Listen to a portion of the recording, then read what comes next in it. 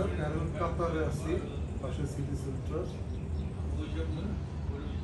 পাশে কাতার airport airport মাঝখানে সমুদ্র আমরা